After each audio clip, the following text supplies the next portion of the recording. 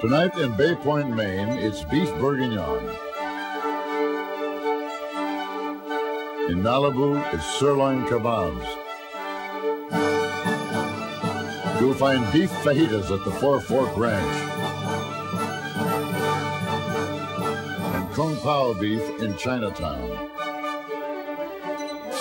In New Orleans, it's Creole pepper steak. And beef braciola in the north end of Boston. There's a great corned beef sandwich at 7th and 55th. And in Chicago, a porterhouse steak, the perfect medium rare. At the end of each day, all over the country, nothing satisfies so many people in so many ways. Beef, it's what's for dinner.